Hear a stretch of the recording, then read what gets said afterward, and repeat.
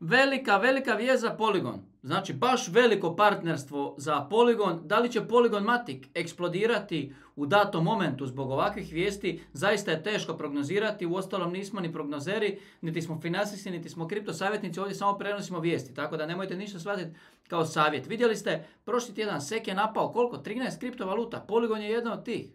Polygon se našao na udaru. Cijena Polygon Matiku je pala dolje i bam, ovaj tjedan Polygon finalizira veliki, veliki deal. Više ne znamo koliko smo i nabrojili, nabrojali velikih dilova, velikih partnerstva koje je Polygon napravio u bear marketu prošle godine, krajem prošle godine. Najveći svjetski globalni igrači uredno i redovno biraju Polygon za svog partnera. Nevjerojatno. Idemo odmah pogledati o kome se radi, o čemu se radi. By the way, www.kriptoteme.io, novi news portal. Vjerujem da ćete pogledati, pratiti vijesti svakodnevno, najnovije vijesti iz kripto svijeta i vjerujem da ćete sa zadovoljstvom svakodnevno se vraćati iznova i iznova na našu novu stranicu, tako da to svakako pogledajte. A ja ću vam sada pokazati ko je odabrao Polygon za partnera.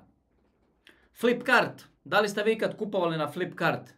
Kladim se da niste i vjerujem da niste i u ostalom nije ni važno za ovu priču, za ovo naše podnevlje ovdje.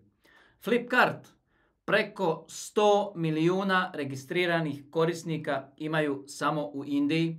Jedan od najvećih tamo, znači najveći, jedan od giganata. Znači Poznati su po tome recimo da su u 20 sati vremena prodali 1 milion i 200 tisuća mobitela samo u jednoj akciji kad su imali. U 20 sati vremena, trebam ponoviti, 1 milion i 200 tisuća komada. Znači, preko 100 miliona korisnika i oni su odlučili ići u jedan loyalty program, išli su kao i mnogi drugi, kao Starbucks, kao i mnogi drugi partneri Poligonovi i oni su rekli, ok, sve to što radimo, cijeli taj Web3, cijelu tu budućnost koju donosimo našim korisnicima za partnera biramo Polygon. I zaista ovo je jedna velika vijest i s ovom temom ćemo se sigurno baviti. Nemojte sad shvatiti kao financijski savjet, kao kripto savjet. By the way, ne znam uopće, ulažete li u Polygon? Napišite mi dolje u komentar.